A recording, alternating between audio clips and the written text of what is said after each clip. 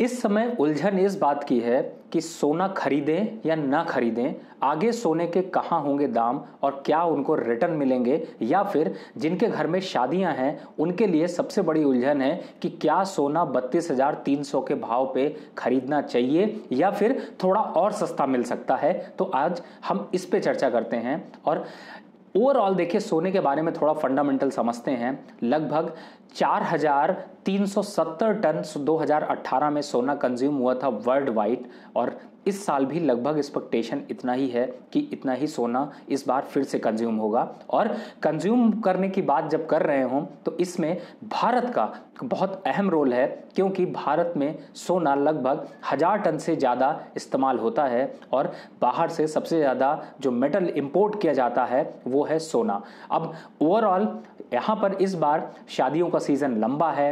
रूपी में यहाँ पर इस समय वीकनेस है इलेक्शन सर पर हैं ट्रेड वॉर की वजह, ये सारे कारण ऐसे बनते जा रहे हैं जिससे कि सोने में कंटिन्यूस तेज़ी देखने को मिल रही है।